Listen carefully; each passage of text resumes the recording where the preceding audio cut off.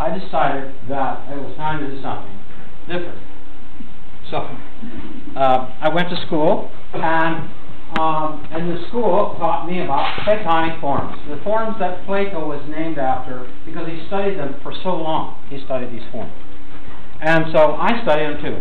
And basically I found out that they're called Platonic solids. Well, they never seemed solid to me. They all seemed hollow. And so, I know it's funny, but really, it just didn't seem like it was. They were. They weren't like a rock. They were open like an air. They could breathe. And so I started to study the inside of these forms. Okay, and I found out through a process of, of a long time and failure after failure and so forth in science, I could not do it. I could not get a seven-sided form like I wanted because I wanted to have equal surface areas.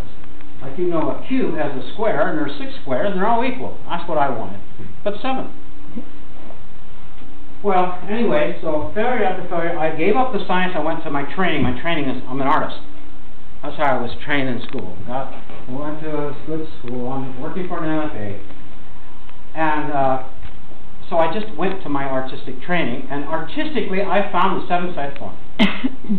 And then I took the artistic finding that I had and put it into science. So that's called spiritual science. So I uh, eventually, you know, I started to integrate more and more, reading Rudolf Steiner and so forth. And so finally I came up with a seven-sided form. And here it is, I'll show it to you here in bronze. Uh, but I won't show you how I did it because I need to show you what this form is. Because I've never seen it before, and you've never seen it before, it's not been here before. So this is it.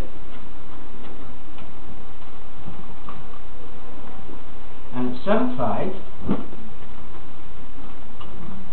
This has never been here before.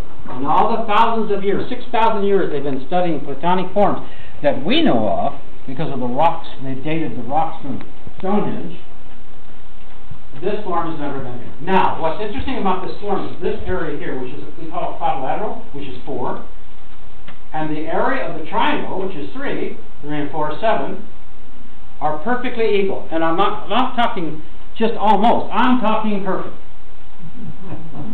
I mean perfect. I mean, it was so close at one time that that one side was a teeny, teeny bit off. And I realized why, because I hadn't divided the line and the pencil line in half when I divided the pencil line in half, it came perfect.